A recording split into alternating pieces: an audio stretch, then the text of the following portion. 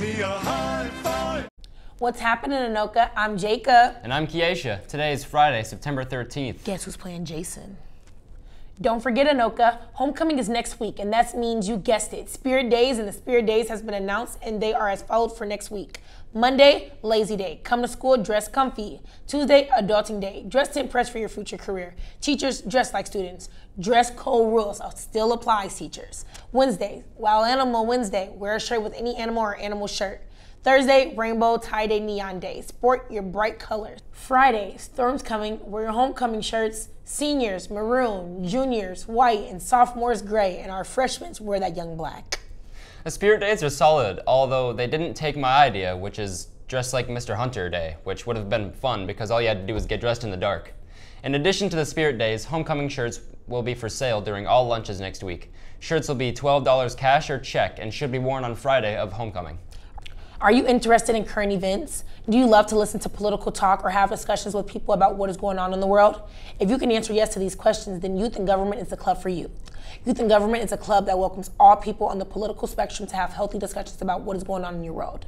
We have our first meeting on Tuesday, September 24th in room S114 from 2.30 to 3.30. Please stop by S14 and talk to Tara Hoffman if you have any questions. We will be holding Avid Club starting Thursday, September 19th and continue every Thursday through the end of the school year. Come to S114, Hoffman's room, from 2.30 to 4.30 to get extra help and be the very best Avid student you can be. The, the, the debate team is still looking for new members. We will be holding an interest meeting in room L137 next Wednesday after school. Questions see Coach Anderson before or after school in room L137. Competitions are on Saturdays starting on the 21st. Have you ever thought of a career in court reporting, closed captioning, or real-time communications? This high-wage, high-demand career requires a two-year degree and has a 100% job placement rate. Anoka Technical College is the only college in the state offering this program, and they are hosting an eight-week free introductory course on Monday nights from October 7th to November 11th from 6 to 8 p.m. See Miss Neary in the Career Center for more information. Students interested in manufacturing technology, electronics, welding, or robotics and automation are invited to participate in a forecast. Your future event is in Cloud Technical College on October 10th. See Ms. Neary in the Career Center for more information. It's time once again to check back in on our favorite weatherman. Here's Seth in the Weather Center.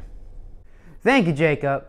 It appears the worst of the rain and storms are behind us. Today will be cloudy and high only at 61 degrees. That's good sleeping weather. This weekend warms back up in high near 70s. That's our weather. I'm Weatherman Seth. Now back to Kiesha and young Jacob. Thanks, Seth. The Strong Woman of Tomorrow will be holding a table during lunch. Be ready to stop by the table and check out what the SWOT is all about. For those interested in joining DECA, we will be having our first informational meeting next Tuesday. There will be a meeting before school at 7.10 and another meeting before school, after school at 2.30 in B214. DECA is an organization that develops leadership and critical thinking skills with a focus on marketing, management, and entrepreneurship. Not in DECA? What the hecka? I see what they did there.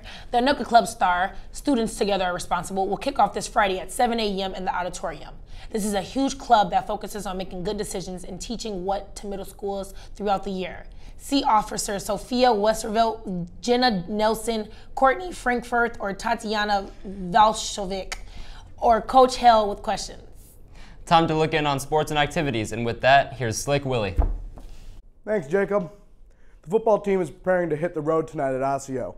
The game starts at 7 p.m. Come and support the team as we look for our first win of the season. The annual Powder Puff football game will take place on Wednesday, September 18th at 7 p.m. at Goodrich Field. Please come out and support our Anoka senior girls as they get their chance to play at Goodrich under the lights.